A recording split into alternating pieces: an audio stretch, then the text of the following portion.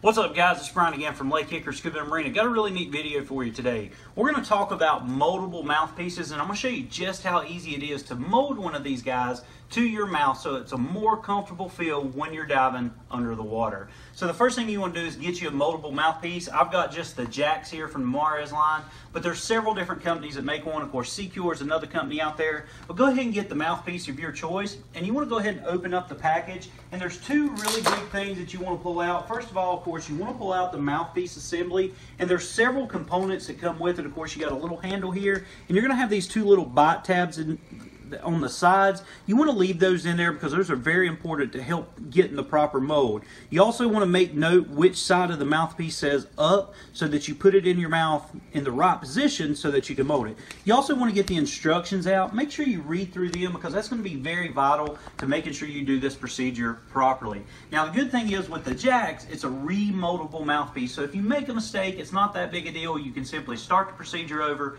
remold it, and get it fitted for your mouth.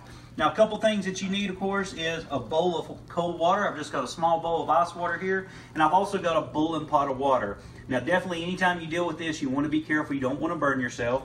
But all you're going to do is simply take the handle, hold on to the mouthpiece. You're going to dip it into the boiling water for about 15 seconds, and then you're going to pull it out, shake it off, and then you're going to place it in your mouth for about two minutes.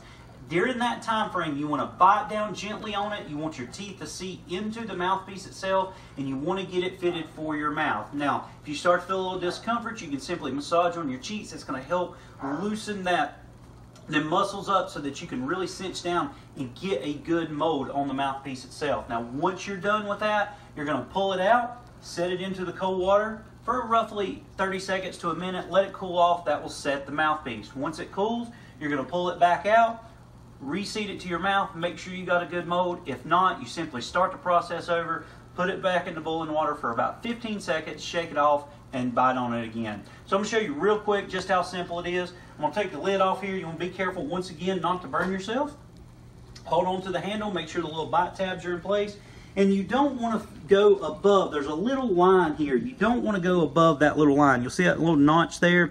You never want to immerse it deeper than that right there. So all I'm going to do is simply immerse it down into the boiling water. I'm going to count to 15. 1, 2, 3, 4, 5, 6, 7, 8, 9, 10, 11, 12, 13, 14, 15. I'm going to pull it out, give it just a little bit of shake, and then I'm going to bite on it for roughly two minutes.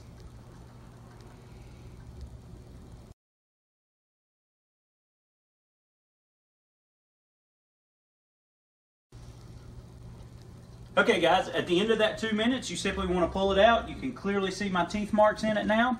And all I want to do is simply immerse it down in cold water. And all that's going to do is just kind of help set that up into place. It's going to help form it back. It's going to cool it off a little bit. I want to let it sit here for about 30 seconds or so just to let it get good and cool. And then I'm going to retest it. I'm going to shake the water off, place it back in my mouth, make sure that it still feels comfortable and that lines up with my teeth. If not, all I've got to do is simply repeat, repeat that process. Now, as it cools off, I'm going to pull it out, give it just a little tiny shake to get some excess water off, make sure it still fits, and it's a good, comfortable fit. Now, if it doesn't fit, once again, repeat the process, but if it does, now you can come over here and remove the bite tabs and simply remove the plug itself. So guys, that's just how easy it is to use a moldable mouthpiece. All that's left is, of course, attaching it to your regulator and of course, it does come with a zip tie that you can very easily replace it with your current mouthpiece. So guys, if you got any questions on moldable mouthpieces, simply put it down in the comment section below. I'll try to answer your questions the best I can. As always, check back each week for new videos. Make sure you follow us on Instagram and Twitter. Like us on Facebook, pin us on Pinterest, subscribe to us here on YouTube, and as always, guys, we appreciate your business.